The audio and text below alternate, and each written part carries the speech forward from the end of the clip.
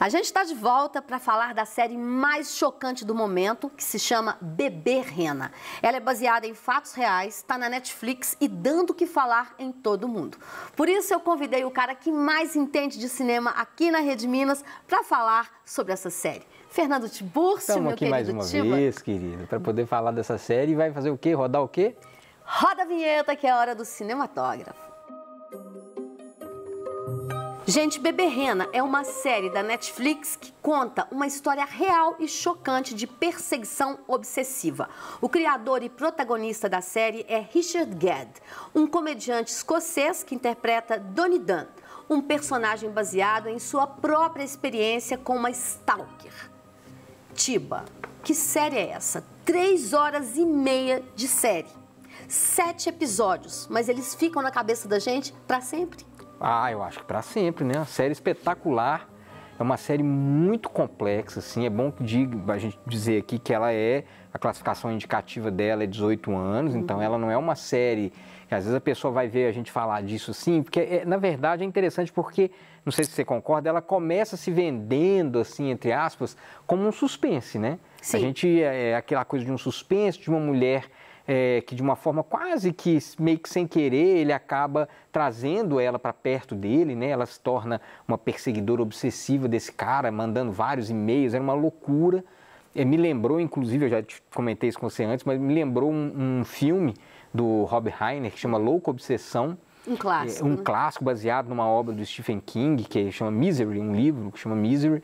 É, só que nesse caso é um pouquinho diferente, porque o, o- o- tanto o livro quanto o filme, eles são mais, são mais diretos, assim, é um suspense realmente mais direto, de um caso de obsessão também, enfim, não cabe a gente ficar falando dele aqui, mas no caso da série, ela começa como é, meio que parecendo que é uma questão de obsessão. Romântica, né? Quase Co- Começa uma coisa meio romântica. romântica. O cara é um barman lá em Londres. Aí chega uma mulher sem grana, gorda, É. né? Ele ficou com dó. Ele fala que ficou com dó da o mulher. primeiro sentimento, ele E aí- fala, né? O é. primeiro sentimento foi O pena. primeiro sentimento foi pena. Ele deu uma xícara de, de De chá chá. para ela e ela se apaixonou perdidamente. A gente acha que é isso. Mas, na verdade, quando vai se, apro- vai se aprofundando, vira. Assim, a- numa boa, gente, é. É, É uma loucura. É uma loucura. Porque a, é a série vai apavorante. caminhando, ela vai de forma bem gradativa, ela vai se aprofundando em outras questões muito complexas assim. Sim. E isso vai, eh, você como, como espectador, como público, isso vai te afetando também, porque é, é, a série, na verdade, ela acaba sendo um relato muito pessoal dele sobre coisas que aconteceram na vida dele. É, a gente até começou, comentou como ele foi assim corajoso em fazer isso, né? Demais. Você falou a questão de como é interessante que ele criou Gente, pensa bem, ele viveu momentos incríveis, de, de- difíceis na vida, né? Ele, ele tentando um lugar ao sol como comediante, ele era um comediante raso. Raso. É, e aí ele transformou os problemas pessoais dele num drama, que é um drama que está parando o mundo para discutir sobre Exatamente. isso. Tem psicólogos, psiquiatras, pessoas muito envolvidas e nós que somos cinéfilos apaixonados aqui, eu e Tiba assistimos imediatamente, ficamos impactados, porque é difícil até a gente falar para vocês sem dar algum tipo de spoiler. Verdade. Mas assim, assistam, gente, mesmo que seja assim, seja apavorante como nós falamos, assim, ele traz tanta informação e de coisas assim, por exemplo, nessa, nessa, eh, nesse mundo de redes sociais, acontece muito isso, Muito. de um stalkear o outro. Você conheceu uma gata, ai, deixa eu ver como é que ela é, entra lá e começa a saber tudo da vida Tudo. dela. É mais ou menos isso que acontece Isso. no filme. E é interessante porque a série caminha nessa questão de que primeiro parece ela sendo uma questão, é, ela sendo essa louca obsessiva por ele, mas de repente você tem uma questão de uma dependência, uma codependência, a gente falou disso, Sim. porque ele começa também a revelar uma certa dependência dela. Sim. Né? Ele acaba meio que dependendo dela também, tem um pouco disso. Ele se sente importante sendo perseguido por, Por ela, ela. ou sendo amado excessivamente, né? E tem muita gente que tem esse tipo de relação meio patológica mesmo, Sim, né? sim. E ali vem, isso fica muito escancarado, né, Tibo? E tudo que acontece na série vira meio que um gatilho para que ele possa revisitar questões muito complexas do passado dele. Sim. Né? E, e, aí a série ela começa a discutir coisas, ela está sempre discutindo coisas, a gente falou isso, questões de gordofobia, é, misoginia, misoginia, transfobia, transfobia, é, né? E aí tem uma questão de que ela, ela discute também essa questão da fama.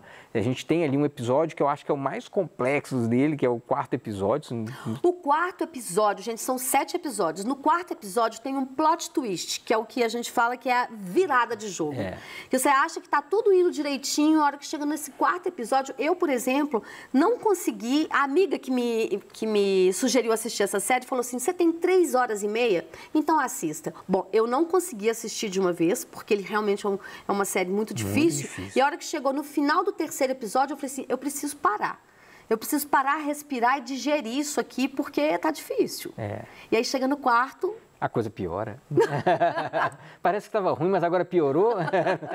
mas é isso, porque ela vai, ela vai, eh, sabe, ela vai eh, abrindo feridas ali e ela vai mexendo naquelas feridas assim de uma forma muito forte, muito complexa assim.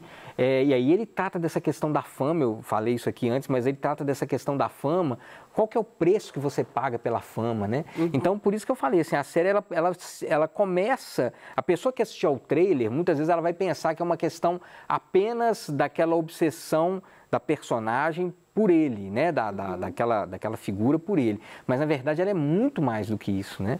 Sim. Ô, Tiba, para a gente encerrar o nosso papo aqui, eu queria falar, fazer um comentário aqui, que é uma coisa muito interessante. Eu fiquei tão obcecada por essa série que eu comecei a procurar saber de tudo. Eu também stalkeei. E eu descobri que esse cara, o Richard Gedd, agora ele está sofrendo uma perseguição do público em geral que, que apaixonou com a série, querendo saber quem, na verdade, é a mulher na vida real dele, quem é a mulher que stalkeava ele e quem é o cara que machucou ele no passado. E ele está numa situação complicada, né? né? Quer dizer, você se abre, ele falou que era uma questão muito pessoal e as pessoas vão querendo saber, né? É. Eu dou um conselho e falo, não, assista, não preocupa com isso, porque, enfim, ali já está exposto muita coisa, você não precisa saber que ele fez questão de mudar os nomes, né? Sim. Para que isso não para resguardar não, as pessoas. Resguardar e vale lembrar, gente, apesar de ter muita coisa real, isso é inspirado em fatos reais. Ele tem uma existe uma dramaturgia. Muita coisa pode ter sido modificada. Mas que ele teve muita coragem de colocar toda a fragilidade e vulnerabilidade dele ali para o mundo.